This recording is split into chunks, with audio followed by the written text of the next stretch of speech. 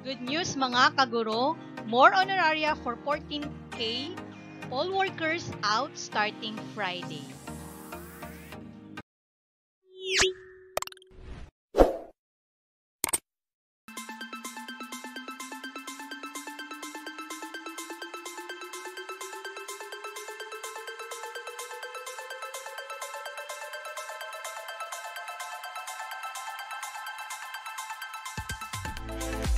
The additional honoraria to more than 2,000 electoral boards or EBs who serve at extended hours in the May nine polls will be made available starting Friday, the Commission on Elections or COMELEC has said.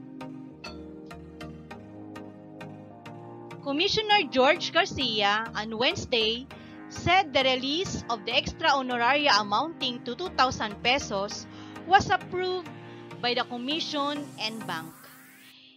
Anytime now, it will already be released as the resolution approving it has already been signed, he said in a press briefing.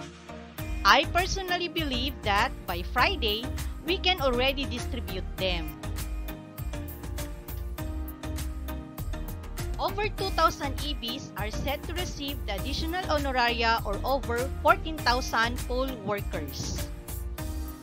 The poll workers served in 2,038 clustered precincts that encountered delays such as vote counting machines that malfunctioned and due to faulty SD or secure digital cards.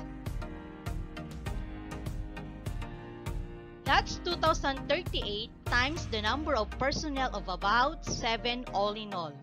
If I am not mistaken, that's more or less 20 million pesos, added Garcia.